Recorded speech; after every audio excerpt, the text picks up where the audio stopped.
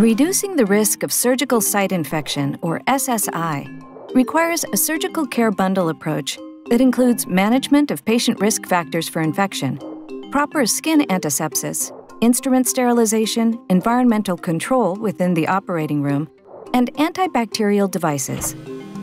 Although every operation begins with an antiseptic preparation of the skin to kill superficial bacteria, some bacteria remain below the visible surface of the epidermis, in the lining of hair follicles, sweat glands, and other areas. These bacteria can be disrupted while making the skin incision, which is one possible source of SSI initiation. Relative to the surgical incision, sutures are small and appear to be of minimal consequence.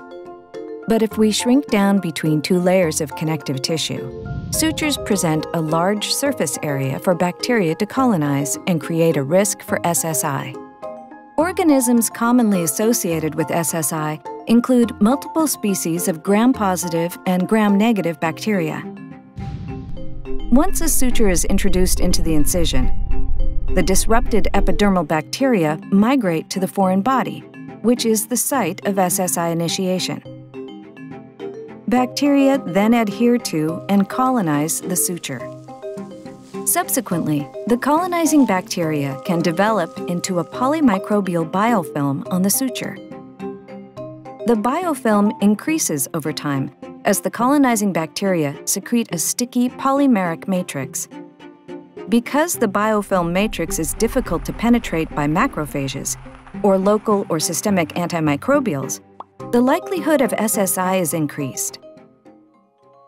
For over 15 years, plus antibacterial sutures by Ethicon have provided an antibacterial option for wound closure of all tissue layers, including subcuticular, subcutaneous, fascia, and organ layers. Plus sutures are coated with medical grade triclosan, a broad spectrum antimicrobial agent that is active immediately and inhibits common SSI associated organisms from colonizing the suture for seven days or more in vitro. Use of sutures containing triclosan addresses a known risk factor for SSI.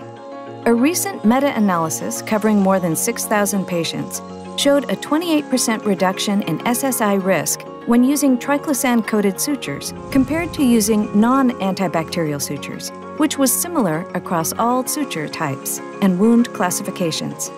Multiple international evidence based guidelines have recently included recommendations to consider triclosan coated sutures in an overall approach to reduce the risk of SSI.